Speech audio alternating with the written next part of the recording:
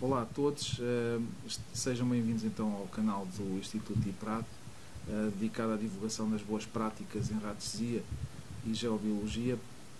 Esta é a primeira sessão de uma rúbrica que nós chamamos uh, o Caderno Azul da Radiestesia do IPRAD. Estamos hoje na companhia de António Rodrigues, um famoso radiestesista, radicionista e também um forte autor neste campo. viva António! Olá.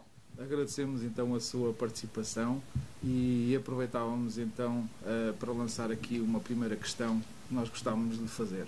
Uh, dentro deste caderno, vamos aqui desenvolver alguns temas. Na sua opinião, quais seriam as razões mais importantes uh, para uma pessoa que nunca tenha tido contato com radiestesia começar a aprender radiestesia? Qual é uh, um, dos motivos, um, dois, três motivos que acha que seriam importantes da aplicação da radiestesia na vida diária das pessoas? Eu não sei se na vida diária, mas a radiestesia, por sua finalidade, ela destina-se a descobrir aquilo que está oculto, aquilo que nós não podemos saber de um outro jeito, não há uma outra técnica, um outro, uh, uma outra abordagem para descobrir. Então, suponhamos que, que uh, eu desejava recomendar um floral para você, para qualquer finalidade. Eu não tenho como descobrir, a não ser pelo raciocínio, pelo intelecto, eu não tenho como descobrir, não há uma máquina que possa indicar, não há forma nenhuma de acesso que me possa dar a dica qual seria o floral. A técnica que pode ser usada é a radiestesia que vai estudar vai abordar a, a, a compatibilidade que existe, que existe, entre você e uma série de florais, entre os quais aquele que lhe seria indicado. Então a radiestesia serve para descobrir aquilo. A radiestesia está no seio do, do, do, do impulso que levou à descoberta dos oráculos, que é a, a necessidade de descobrir aquilo que a gente não sabe, que está oculto, não está expresso. Tá? Ou seja, isto num ponto de vista terapêutico, do... Não, não, de uma forma geral, assim, é, eu tenho duas namoradas, qual das duas é que é mais indicada, mais compatível comigo? Eu tenho dois empregos, duas possibilidades, qual deles é que eu batalho para, conseguir finalizar o acordo, qual deles é o melhor para mim. Então, em todos, aliás, a radiestesia, diferentemente, ela se aplica em todas as áreas da atividade humana, uh, dependendo da, da, da, da, especialização do praticante. Então, se nós tivermos um praticante uh, geólogo, Dentro da geologia é possível usar a radiestesia para determinados fins. Não para identificar uma pedra, porque ele vai descobrir aquilo por seu conhecimento, por seu estudo, uh, vai descobrir vai identificar qual é, qual é o, o, o objeto. Mas para outras questões, como pesquisa de água, por exemplo, o, os aparelhos para pesquisa de água são, são, são, são, são digamos, uh, tíbios, grosseiros, primitivos, quais eles não indicam exatamente a, a existência da água, eles indicam a existência de, de, de fatores que normalmente estão associados à, à, existência de água. Então, por, por exemplo, para isso, o, a radiestesia pode ser usada, pode ser usada dentro do RH, recursos humanos, uh, na escolha de, pessoas, enfim, ela pode ser usada em todas as áreas do conhecimento, todas as áreas da atividade humana, onde haja dúvidas e não haja uma metodologia para desfazer essas dúvidas. Então, por isso a radiestesia é tão usada, é tão uh, uh, procurada pelas pessoas. Infelizmente, por razões outras, é mal usada. Eu costumo dizer que as pessoas nos anos 70 se afastaram da igreja por culpa da igreja e procuram a espiritualidade, ou de uma forma mais simplória, procuram Deus em, em disciplinas que têm a ver com uh, o esoterismo. Então eu digo que estão à procura de Deus e encontram a radiestesia, o que não é a mesma coisa de forma alguma, não tem nada a ver uma coisa com a outra. Né? Muito bem. E existem alguns autores uh, que abordam uma questão muito engraçada e curiosa uh, dentro do, por exemplo, da utilização da radiestesia no mundo dos negócios. muitas das vezes as pessoas têm de ser, digamos assim, o próprio a própria pessoa que vem à, à consulta uh, julga que vamos ler o futuro não é? às, às pessoas. E esses autores, uh, os mais sóbrios, costumam recomendar e até guiar as pessoas na, nas suas interrogações sobre as questões que querem colocar, uh, de maneira a elas não se centrarem muito em futurologia, não é? E centrarem-se mais na análise concreta de energias de situações, de, de, de questões que realmente emanam algum alguma energia dentro, digamos assim, desta realidade e que são por isso mensuráveis e pelas quais se pode um, fazer uma boa análise.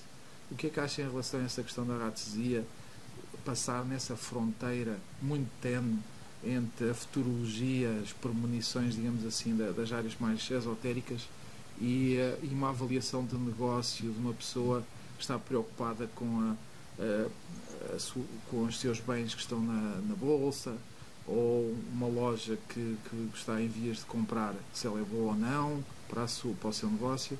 Uh, onde é que se separa um pouco essa fronteira, se é possível separá-la? Não, não há separação, porque isso depende do, do conteúdo cultural do, do, do analisante, do, do, requerente da análise. Uh, e, e, normalmente ele confunde uh, radiestesia com uma outra coisa, com, com uma forma uh, técnica de magia. Então eles acabam confundindo, acabam confundindo tudo, o que é perfeitamente normal, já que não há explicações não há livros que, que, que uh, tenham como propósito esclarecer essas, esses equívocos. É próprio da, da, da, da, coisa. As linguagens se misturam e geram, digamos, essa, essa confusão.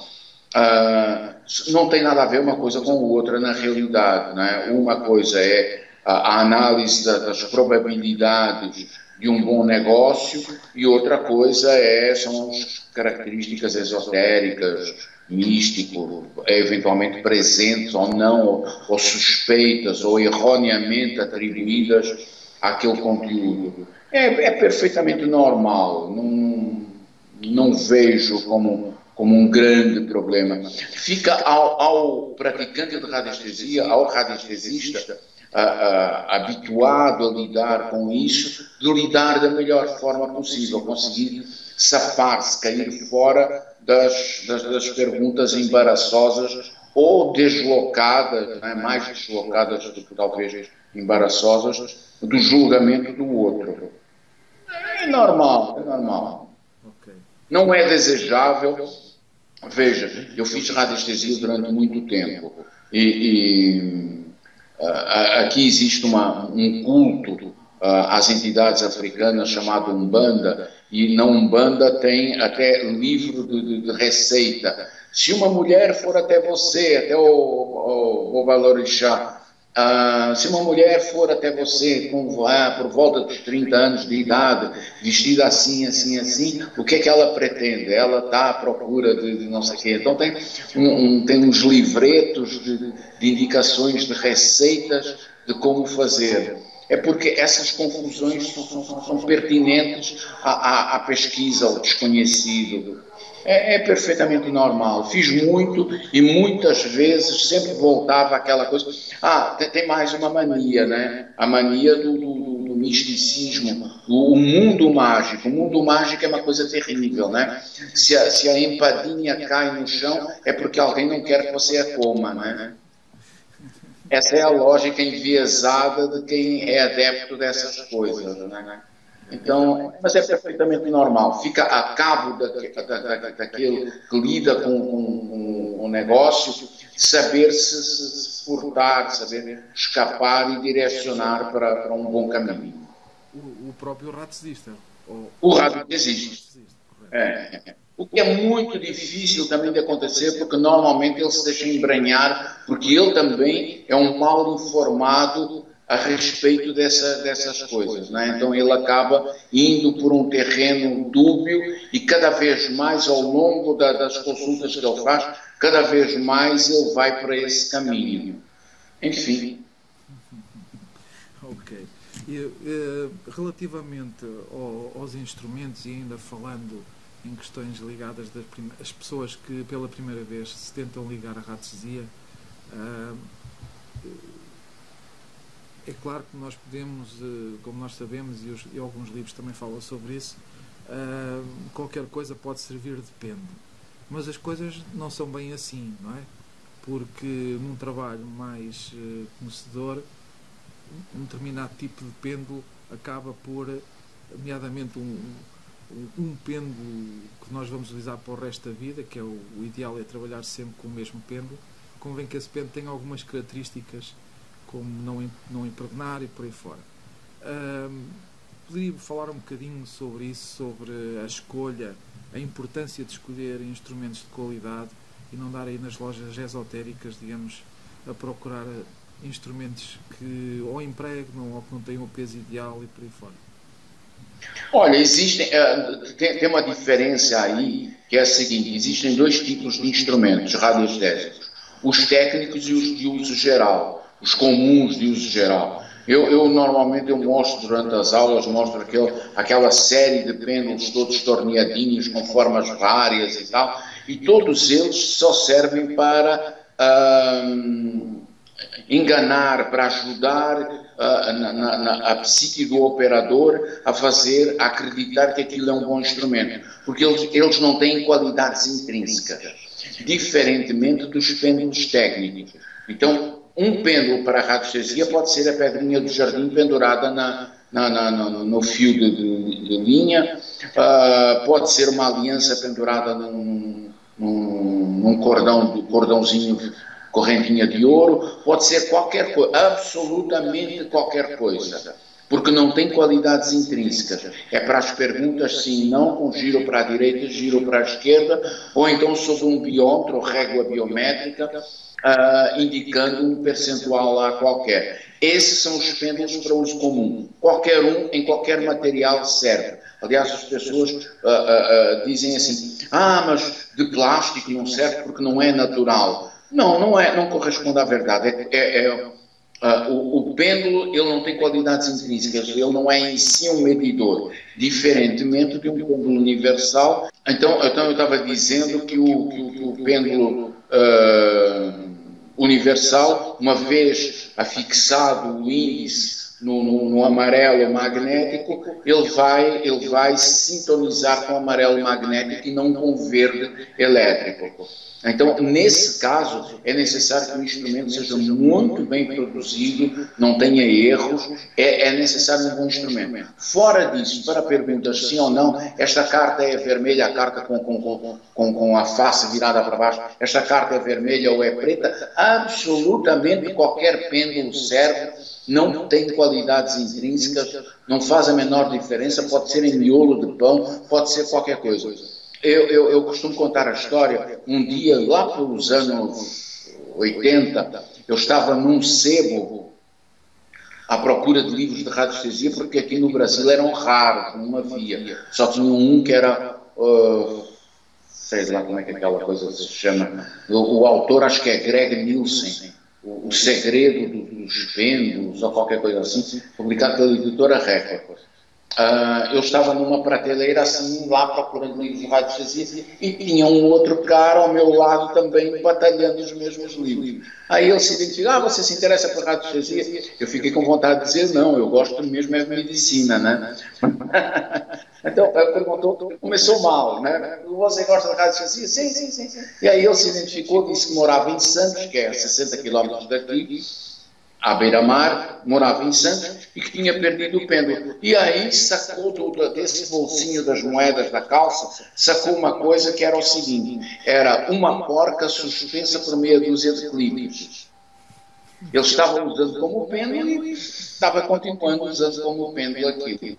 Então é, é, exatamente isso. Para fins gerais, qualquer instrumento. Para fins técnicos, bons instrumentos. Infelizmente, eles uh, uh, não existem em quantidade razoável à volta do mundo. Por incrível que pareça, o Brasil é um país razoavelmente atrasado sobre certos aspectos. Uh, no Brasil tem talvez o melhor fabricante em quantidade, em profusão de, de, de instrumentos radiestésicos, que é o Instituto Marra. Eu recomendo comprarem as coisas lá, uh, porque tem. Uh, também, também eles tiveram. Foi fácil para eles, de certa forma, porque fui eu que desenhei tudo, né? eu que dei as medidas de tudo e tal. Uh, confesso também que cometi erros algumas vezes, mas uh, mais acertos do que erros, e fui ajustando as coisas ao longo do tempo. E depois de 20 anos, eles têm um catálogo que é absolutamente maravilhoso. Eles têm pêndulo uh, universal, pêndulo equatorial unidade, pêndulo duas harmônicas, pêndulo uh, que eles chamam de Vale dos Reis, mas é um pêndulo egípcio. Todos os pêndulos decorativos, bonitinhos, ele tem todos, todos são muito bem feitos, muito esmerados, é muito bom. Tem os gráficos na, na, na, em, em, plástico, uh, muito bom pronto, relativamente aos materiais, uh, estamos mais ou menos eh, falados e depois uh, também queria perguntar aqui mais umas coisinhas. Relativamente ainda às pessoas que iniciam, um, qualquer pessoa pode aprender radiestesia? Quais são os principais obstáculos que pode encontrar durante a aprendizagem? Ou seja, será possível todas as pessoas aprenderem radiestesia ou algumas terão alguma dificuldade e porquê? Olha, uh, é possível, é assim, teoricamente é possível que todos aprendam. Claro que nesse aprendizado, em todas as coisas, se, se as nossas aulas, em vez de serem só para radiestesia, fossem para outras finalidades, para culinária, para tocar violão, para qualquer outra coisa, nós íamos ver que 70% das pessoas conseguem fazer mais ou menos bem, por volta de 10 a 20, até, até 30, tem muita dificuldade. Um ou outro é excepcional, nasceu para fazer isso, faz os melhores bolinhos do mundo, faz bem radiestesia, toca bem violão, algumas raras pessoas. Outras não têm habilidade nenhuma. Por exemplo, eu tenho a, a descoordenação motora. Então, para para tocar violão é absolutamente impossível. Tanto é que eu nem sequer dirijo o carro porque tenho descoordenação motora. Então, para alguma coisa como dirigir carro e atividades similares que tenham a ver, sejam parecidas, tenham essas características, eu, eu não seria capaz de fazer. Eu tenho muita habilidade com uma mão só. Aqui no Brasil fazem-se piadas com português, não é? E eu costumo, eu como não tenho piedade, costumo fazer piada com português. Então nada é, é absolutamente normal que um português tenha descoordenação motora, né? Já é um português muito bom, né? É, eu, eu, acontece às vezes algumas formações, não, provavelmente deve ter acontecido mesmo, já consigo, uh, de algumas pessoas uh, não conseguirem fazer qualquer tipo de movimento com o pêndulo Olha, desculpa cortar-te, isso, isso, isso é no, absolutamente normal e isso varia também, se diminui ao longo do tempo, se a pessoa for uh, uh, pertinente, se for. Uh, se, se, se, repetir os exercícios, eu costumo dizer, não tem muita importância o resultado do exercício no início você põe lá 10 cartas e saber se a carta é vermelha ou é preta.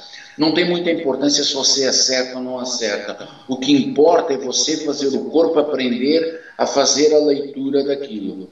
Ele já o faz, mas não consegue fazer, a, a, muitas vezes não consegue fazer a, a, passagem do inconsciente para o consciente daquele conteúdo uh, que você está procurando. Então, uh, não tem muita importância. Agora, tem pessoas que são absolutamente travadas, não têm habilidade. Olha, eu já dei curso talvez para mais de 4 mil pessoas, não tenho a certeza, e nesse grupo gigantesco, para, o universo da radiestesia, é absolutamente gigantesco, eu encontrei dois radiestesistas. Apenas dois, com, com, com talento para a coisa.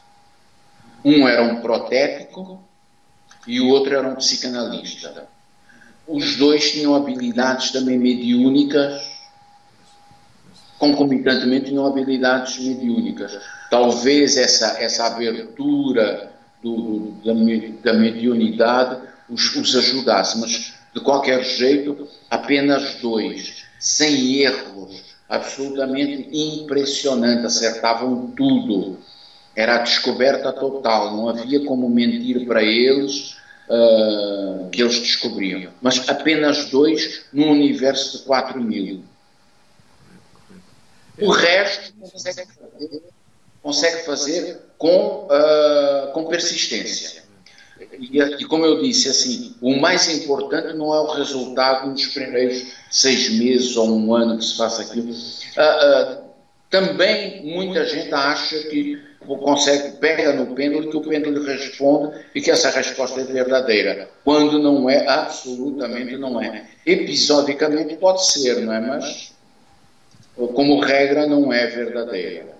Correto, correto. É preciso voltar a, a testar e perguntar, arranjar métodos de corrigir. É preciso batalhar muito. É preciso.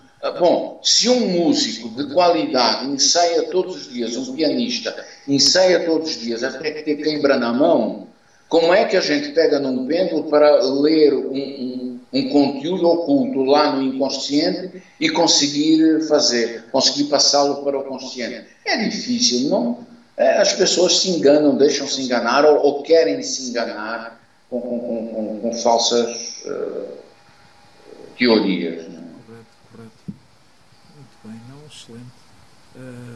Existe, existem então algumas pessoas que têm alguns requisitos já adicionais, muito poucas, e outras vão ter de trabalhar muito, mas não é impossível. Ou seja, não, mesmo aquelas pessoas que travam o movimento do pêndulo e parecem estar, digamos, bloqueadas, não haverá ali nenhum problema na, continuidade, ou seja, nenhuma mensagem para a pessoa procurar outro tipo de atividade. Não, diferentemente de outras habilidades psíquicas, a clarividência. Ou você já nasceu clarividente ou nunca será clarividente em tese, né? Dificilmente a pessoa consegue ser clariaudiente, clarividente uh, ou qualquer outra coisa dessas habilidades chamam-se em, em chamam cílios, né? O desenvolvimento dos cílios. Uh, precisa ser uma pessoa especial para conseguir desenvolver aquela habilidade psíquica. No caso da radiestesia, precisa só de, de, de, de, insistência, de repetir os exercícios até que um dia aprenda a andar de bicicleta. Eu, eu costumo dizer, brincando, uh, vocês esperam que uh, pega no pêndulo que ele responda. Se você fosse andar de bicicleta, você tem duas possibilidades quando, quando começa a andar, né? ou cai para a direita ou cai para a esquerda. Né? mas é, indubitavelmente vai cair, não, não vai conseguir sair pedalando, andando. Então, com a radiestesia é a mesma coisa, precisa trabalhar muito. E também, quando se deixa de trabalhar, também não se tem bons, bons resultados. Né? Tem, tem...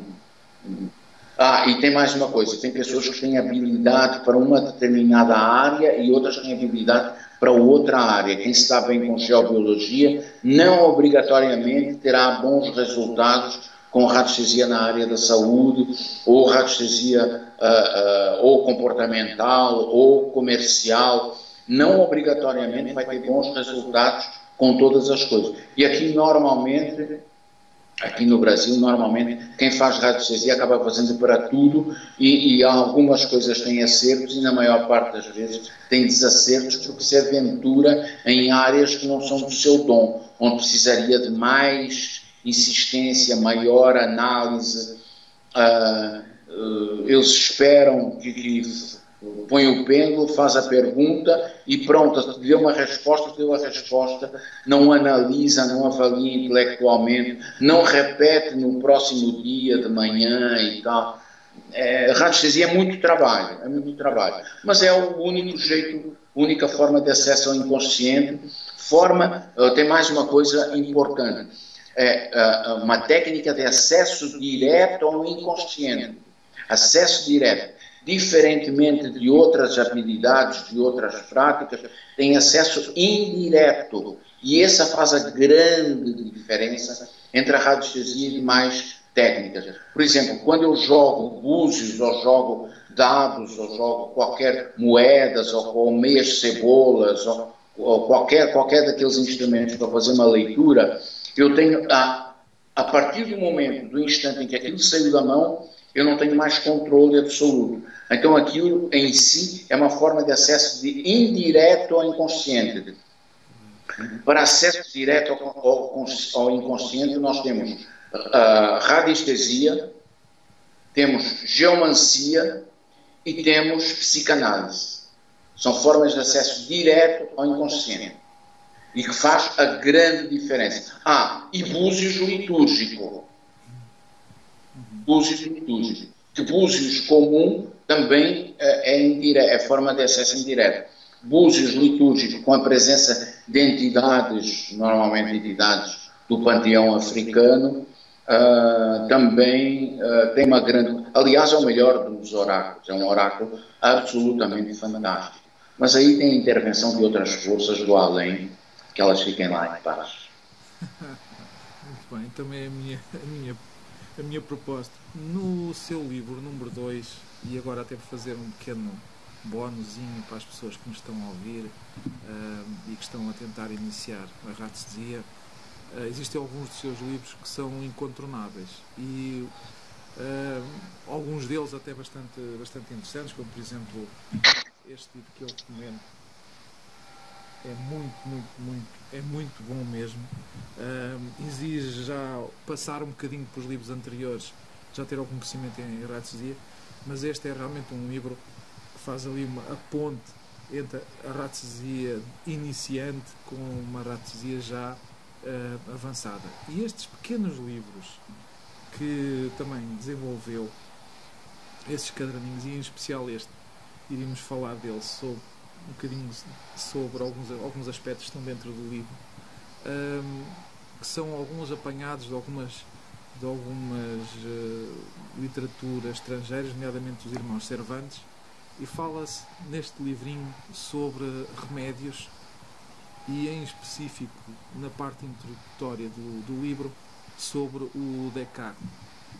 Eu tinha aqui algumas perguntas para lhe fazer relativamente ao Descartes. São perguntas que, algumas delas, como é óbvio, uh, sou conhecedor delas, mas eu acho que seria importante fazer às pessoas algumas perguntas um, ah, sobre este tipo de gráfico. Este, este gráfico aparece em alguns vídeos, nomeadamente pessoas até brasileiras, a explicarem na cozinha como é que, como é que se mexe com este tipo de gráficos e introduzem ali um pouco o aspecto mágico o aspecto uh, que também participa um pouco no, no trabalho da, da de em alguns pontos, mas não tão enfatizado como as pessoas tentam passar, que realmente é um gráfico mágico. Uh, eu iria então fazer algumas, algumas perguntas sobre este gráfico. Que características é que este gráfico tem de ter para realmente funcionar? Quais são as características principais para não enganar as pessoas? Olha, deve ser, uh, como qualquer outro gráfico radiestésico, deve ser uh, em qualquer, feito em qualquer material, não tem a menor importância o material, tem importância o contraste, a forma é dada pelo contraste. Uh, o que o faz funcionar é a sua forma, sua forma específica aquele desenho, aquele, aquele, uh, aqueles seus 10 lados que o, fazem, que o fazem funcionar. Precisa ter uma medida mínima, que é o diâmetro de 12 centímetros. abaixo de 12 centímetros uh, não funciona, funciona mal, é, é, lento. Então, a partir de 12 centímetros, eu costumo dizer. Uh, costumo dizer que os gráficos em radiestesia, só para ter uma noção, ter um referencial, eles funcionam a partir do tamanho de um azulejo de banheiro, 15 por 15. Inscreve-se o gráfico dentro de um azulejo de banheiro, pronto, você tem um gráfico radiestésico que, cuja, cuja, ah, cuja ah, como é que se chama? Oh Deus do céu, deu branco. Na, na minha idade é normal, não é? A minha idade é normal, só não posso esquecer quem eu sou. Uh, uh, lembrei. Lembrei. Eu, uh, a, a, massa crítica não é suficiente para fazer sair, para que a, a, a emissão brote do, do, do gráfico. É necessária uma certa massa crítica. então essa massa crítica acontece a partir de 12 centímetros de diâmetro maior. Uh, e é só observar, digamos, alguns minutos de espera. Uh, as mensagens devem ser colocadas não no centro, na lateral, com a parte de baixo das letras virada para o centro. Uma vez usada, segundo a recomendação dos irmãos Servantes, coisa que eu nunca fiz, eles queimam as mensagens utilizadas.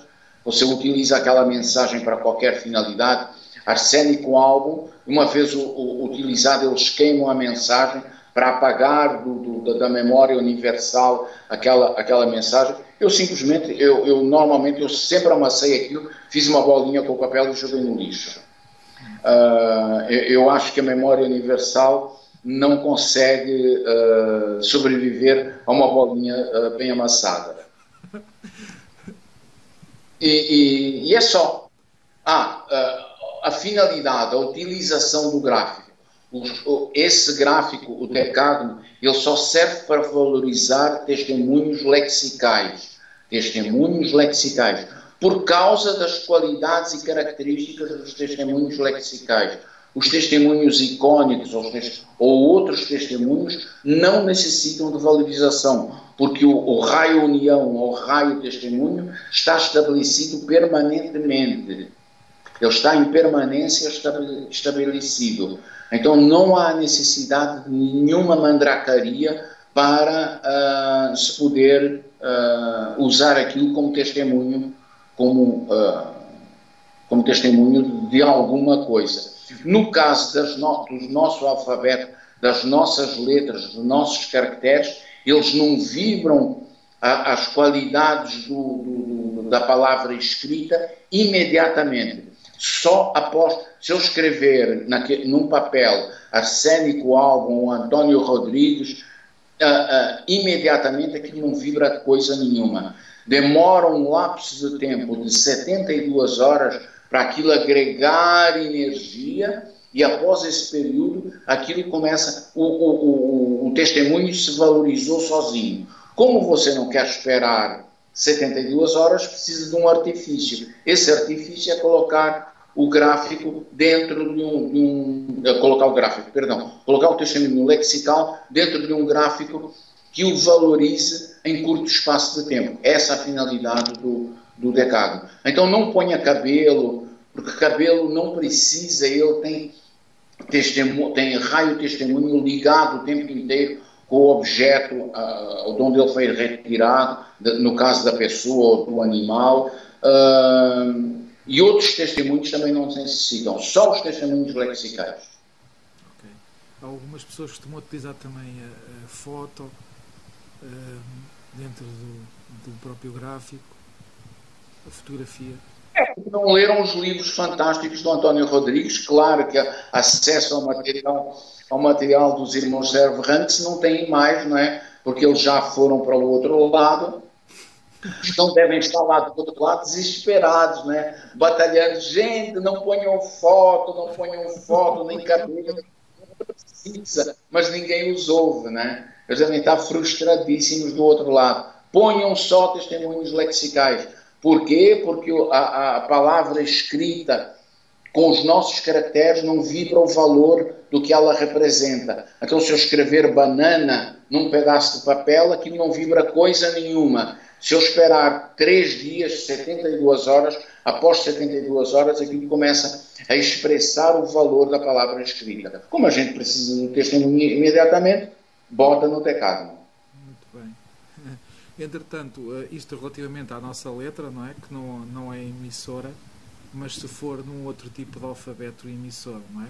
Por exemplo. Ah, sim. No caso, o mais conhecido é o alfabeto hebraico alfabeto hebraico a condição que seja uh, uh, quadradinho, quadradinho, bem desenhado, quadradinho. Aqueles alfabetos onde o iod parece uma lágrima mal desenhado, aquilo também não, aquilo também não, não vibra, hein? não vibra bem, vibra muito mal. Aquele quadrado sem acentuação massorética é o, é o indicado.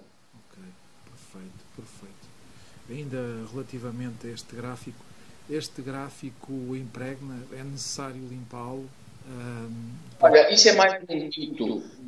Grande mito e grande, as grandes verdades do professor Antônio.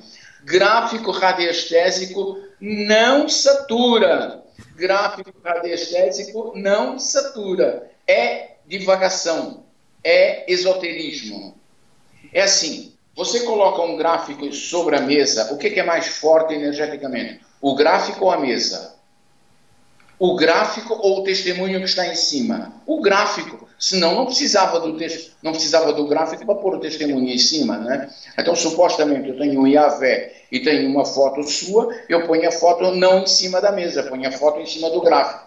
Então o gráfico é mais forte do que a mesa ou mais forte do que o testemunho. Senão seria o contrário. A gente poria o, o gráfico em cima da foto e mandaria gráfico para a, a foto, né? Quando é exatamente o contrário, a gente coloca a foto sobre o gráfico para mandar aquela, aquela emissão, aquela, aquela, aquela emergência, mandá-la à distância, eventualmente, ou fazer qualquer outra coisa. Então, os gráficos radiestésicos, no momento em que ele está, em que uma, uma foto sua está sobre o gráfico, existe, uh, uh, está na teoria, existe uma influência, que é como se chama em radiestesia, existe uma influência então, a sua foto influencia o gráfico. Quando eu tiro a foto de cima do gráfico, durante alguns segundos ele está, digamos, combinado, talvez impregnado daquela energia. Aos poucos, ele, por sua energia, se limpa automaticamente, já que ele é mais forte do que a foto e mais forte que o ambiente no qual ele está. Se não fosse mais forte, não precisava usar. Ele é uma ferramenta. A gente usa o martelo porque ele é mais forte que o dedo para empurrar o prego. Então, o gráfico é o martelo. Ok, ok. Uh, não, fazendo, não paninhos pretos esfregando no gráfico, não precisa disso. No entanto, deixa eu fechar uma porta aí, aqui que tem um ventinho. No entanto, tem coisas que são uh, uh, um pouco inexplicáveis. Você monta, você monta um gráfico, monta um trabalho radiestésico com um gráfico em AV, suponhamos, a foto do Antônio Felipe e um, um, um remédio homeopático ou um floral rescue para os momentos difíceis do, do Antônio. Se eu deixar, se eu tiver lido num relógio radiestésico qual o tempo, digamos, uma semana para, para, para a emissão, eu deixo aquilo durante uma semana. Daqui a uma semana, aquilo parece que adormeceu ligeiramente. Então, se você for lá e limpar o pó do gráfico, limpar o pó da, da, da fotografia e voltar a montar, parece, e não há explicação, há como quantificar isso num biômetro, quantificar sim, parece que a emissão volta a acordar e volta a ter uma, uma ereção. É como se a coisa voltasse a, a, a, a, ter encantamento, a ter a funcionar, parece que ela volta a funcionar bem. E lentamente ela, ela cai para um patamar mais baixo ao longo de uma semana. Isso não acontece imediatamente. Em duas, três, quatro horas, de um dia para o outro, isso não acontece. Mas coisas mais longas que uma semana, a, a, a emissão perde seu grande potencial e se você vai lá e limpa tudo. Claro que também tem o seguinte: essas coisas, essas práticas, são uma forma de magia ritual. Querendo ou não querendo, elas são uma forma de magia ritual. Ah, ah, porque você segue determinados determinadas orientações, determinados princípios. Então você realiza um ritual. Ao você ir no armário e pegar um gráfico, pôr o gráfico em cima da mesa, dar-lhe uma limpadinha, pôr a foto do Antônio, pôr o remédio em cima, isso é um ritual. Você não faz assim, você não, não, não pega no gráfico, abana ele e põe uma batata em cima. Não faz coisas aleatórias, faz coisas propositadas, determinadas. Então nisso existe um ritual. Talvez seja essa coisa. Não tenho certeza, não, ele nunca me respondeu. Excelente, excelente. Uh, fazendo um parênteses em relação a este gráfico de Cagno, estamos a centrar a nossa atenção, uh, por exemplo, o gráfico, o SCAP, e, e, outros emissores também nenhum deles impregna durante o, o trabalho. É isso? Não, não, não, não, O que impregna é, é impregna o papel, impregna o pêndulo. É assim, se você for pendular com uma pessoa de um psiquismo uh, complicado, você tem uma criança, tem uma pessoa, uma, uma, uma mulher dada a, a, a, determinados rituais ou determinadas crenças, neurótica, beirando a esquizofrenia, quando você pega um pêndulo comum e você faz um ato, a, a, a radiestesia é um ato de captação. É trazer para você aquelas energias que estão lá meio como, como podem estar. Você traz para você aquilo. O pêndulo, durante um, um, curto período, ele se impregna, efetivamente, ele se impregna dessas energias tudo fica impregnado dessa energia. Tanto é que se você pendular uma senhora com um psiquismo atrapalhado e for pendular de, imediatamente a seguir uma criança, você vai encontrar as características dela na criança. Tá? Então. Uh, seria, seria, por exemplo, o pêndulo egípcio geralmente não, não impregna, mas nesse caso também impregnaria? Não, não, não. Não. Seria Teoricamente, não. Seria uma espécie de remanência, não é? Haveria aí uma remanência da informação. Ok, ok. Imediatamente não. Eu pessoalmente não uso o pêndulo egípcio para coisas nenhuma. Correto, correto. Apesar de, de, ser um grande pêndulo do nosso caríssimo Caffarelli, um, é um. Não, ele tem aquelas qualidades, aquelas qualidades pressupostas, ele tem efetivamente. Mas eu, uh, não, não, na minha prática, eu dou preferência. Claro que se for necessário, eu usei algumas vezes durante a vida, né? mas. Uh, se for necessário fazer emissões ou assim. Não faço essas coisas. Não faço. Uhum. Porque na emissão você acaba de brigar com, com a mulher ou com o irmão, o seu psiquismo está lá em cima fervendo, e quando você pega no pêndulo e tenta emitir qualquer coisa, vai junto a briga com a mulher, com o irmão, vai tudo junto.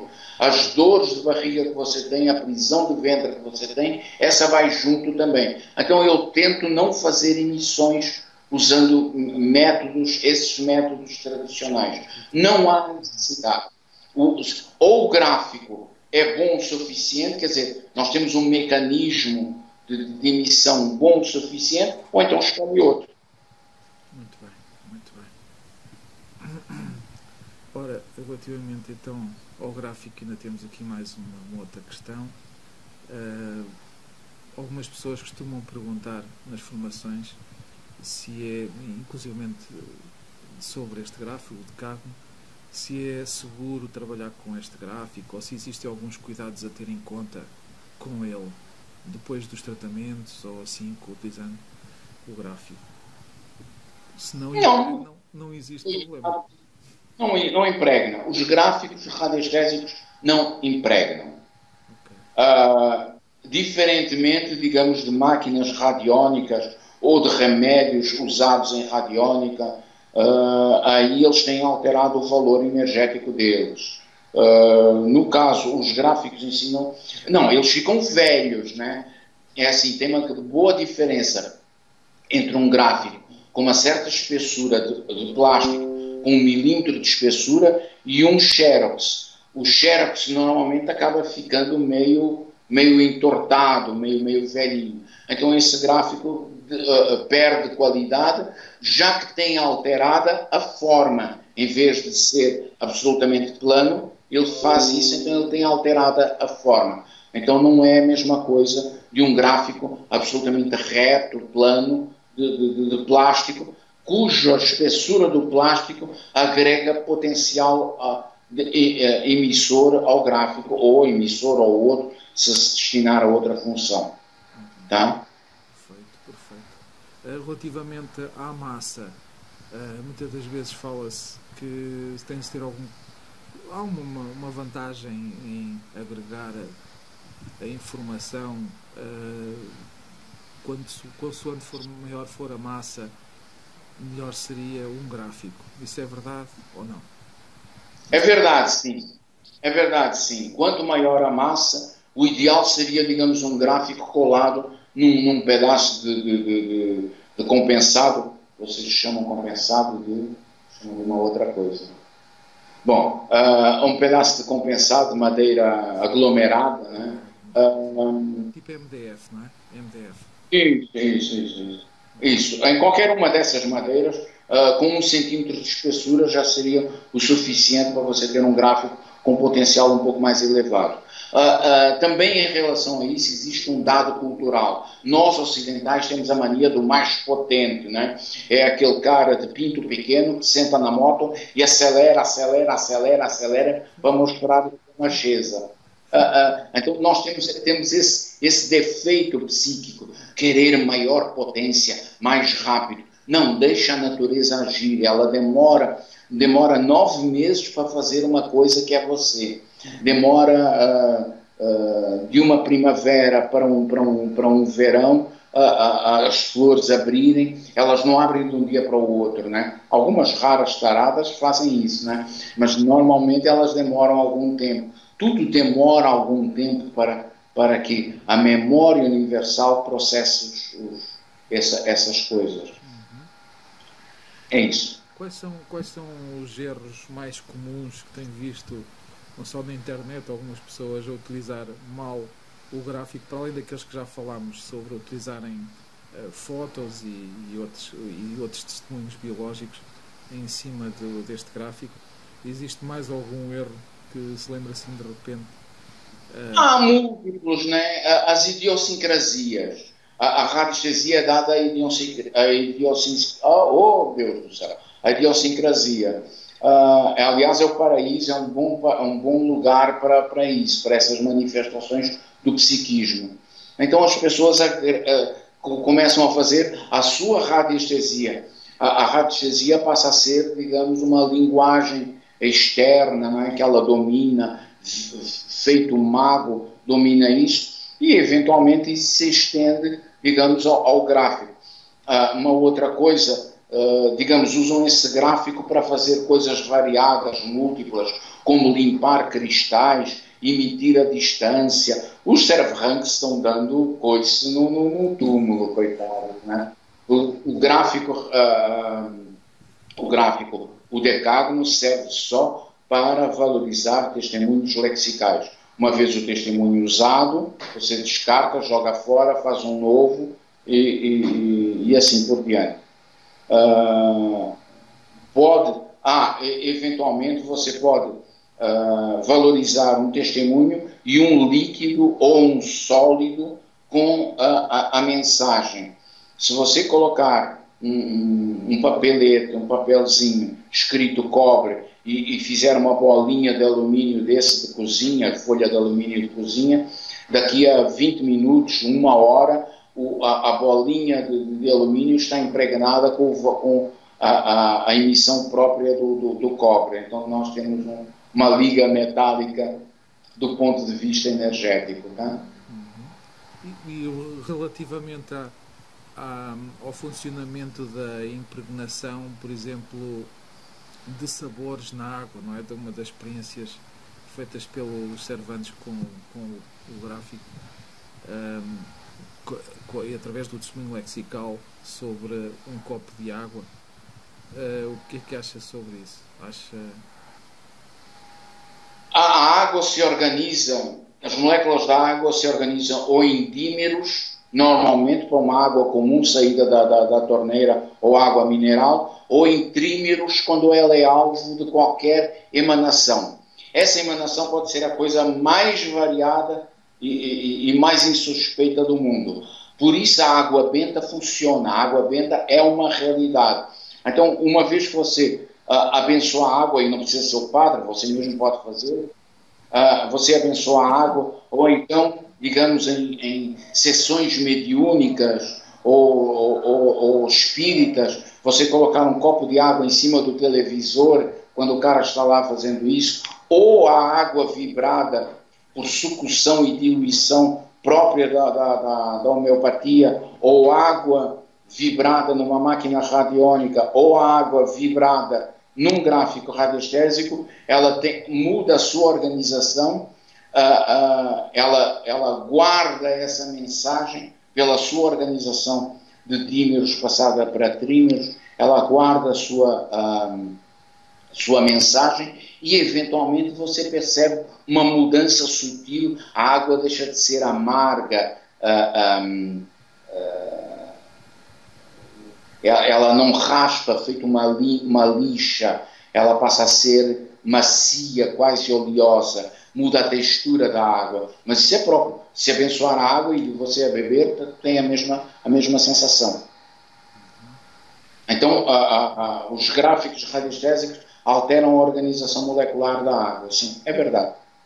Não, não fica com gosto de perfume ou com gosto de peixe frito, não. Ela fica, digamos, oleosa, macia, agradável ao, ao, ao tato, ao palato. E algumas até, eventualmente, a água, se tiver, por exemplo, numa reunião onde, se, onde houve uma, uma grande discussão, a absorção que a água, a absorção natural que a água faz dessa energia, não é? dessa vibração menos positiva, se for ingerida depois, pode até inclusive causar eh, algum problema biológico, não? Eventualmente sim. Eventualmente sim, acredito. Para pessoas mais sensíveis, aos que comem parafuso e acham bom, não é? Uh, e, e, os que, que, que água mineral de boa qualidade provoca diarreia. Então depende da, da, da sensibilidade do, do, indivíduo. Mas sim, sem a menor dúvida, é a mesma coisa. Ela, ela foi uh, uh, ativada pelo psiquismo, pelos efeitos do, do, do, embate psíquico que aconteceu dentro da sala. Uhum. Perfeito. Pronto, basicamente. Uh... Você não ia perguntar sobre remédios homeopáticos fabricados? Sim, sim. essa, essa questão por acaso não, não, a tinha, não a tinha tomado nota, mas tínhamos falado, na, outra vez temos a falar sobre isso e quero falar um bocadinho sobre a produção de um, de um, de um remédio homeopático. Uma coisa muito interessante e, e, assim elas, elas combinam, elas casam bem a homeopatia e a radiestesia casam muito bem. Uh, é possível produzir-se remédios você não precisa ter uma botica homeopática gigantesca, você pode produzir amostras de remédios homeopáticos a partir da, da, da, da, da, da ou a partir da utilização de um gráfico radiestésico. Você pode, pode fazer uh, similares. Eles são similares, eles não são iguais.